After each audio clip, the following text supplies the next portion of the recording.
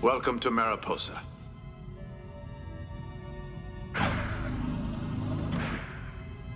Dr. Catherine Pulaski. This is my Chief of Staff, Elizabeth Vallis. Tell me, is your entire population made up of clones, Prime Minister? Clones. Clones? Clones.